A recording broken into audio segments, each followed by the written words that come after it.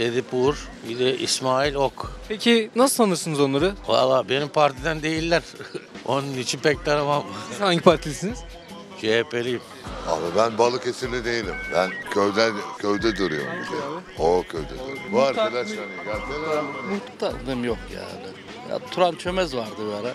Yeniler işte belediye başkanlarımız biliyoruz. Yenileri Yücel Bey'i. Ya iyiyiz, memnunuz. Yani güzel, yaptıkları çok güzel. Yani başka bir öyle şeyimiz yok. Siyasete pek ilgim olmuyor yani daha Türkçesi. Zekai Kafaoğlu var. Yücel Yılmaz var. Peki nasıl tanıyorsunuz bunları? Yani Geçmiş, memnun geçmişlerinden tanıyorum. Memnunum. Her ikisinden de memnunum. Sıkıntı görmedim. Yok halkının içer yani halkına iyi davranan insanlar. Allah onlardan razı olsun. Ne diyeyim başka?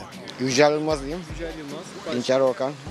Ee, nasıl tanıyorsunuz peki bu isimleri? İyi biliyorum. İyi bilirsiniz. Biri Yücel Yılmaz olur. Diğeri de e, Ahmet Edip olur.